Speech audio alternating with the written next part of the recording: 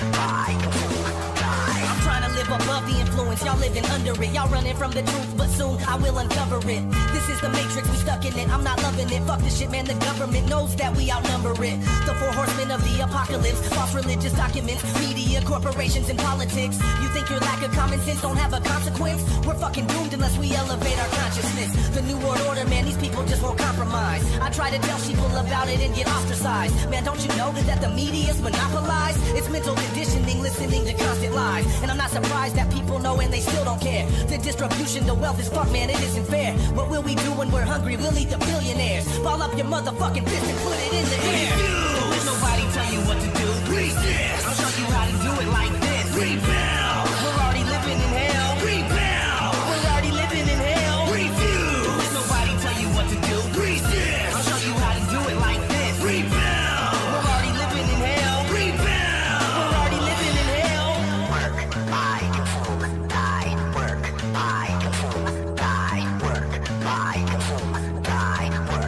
Die.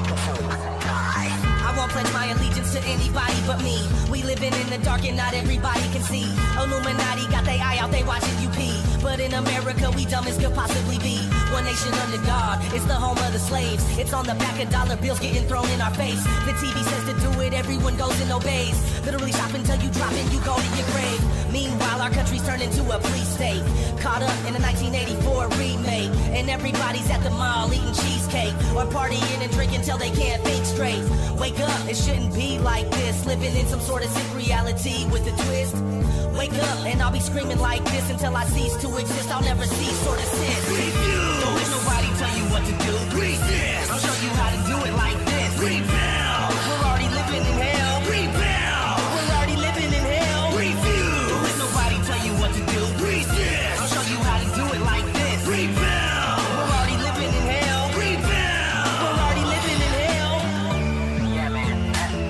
Think the term freedom comes from. You know what I'm saying? Because you must be dumb if you think we're free. We live in fucking captivity. Open up your eyes.